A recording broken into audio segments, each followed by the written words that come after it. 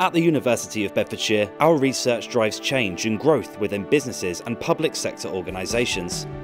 It's not just about the organisations we support, but the impact on the everyday lives of our regional, national and global communities. Our role is to support research and knowledge exchange throughout the University of Bedfordshire. Here at the University, research and knowledge exchange is both highly impactful and incredibly varied. Our work at the Institute for Health Research is all about improving health outcomes for all sections of the population. I've been privileged enough to work in the field of organ donation, work with so many governments across the world to help them to develop public education plans that have improved organ donation and transformed lives and saved lives across the world.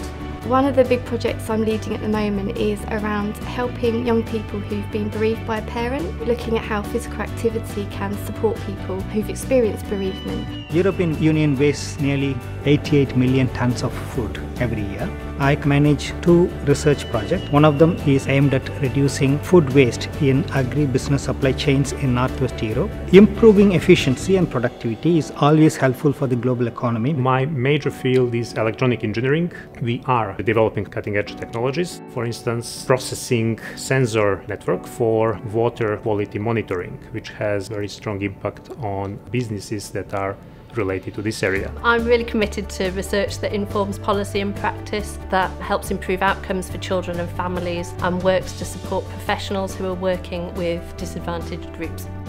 Every step of our research is carried out by our experts who contribute to the greater good of our community, our country and our planet.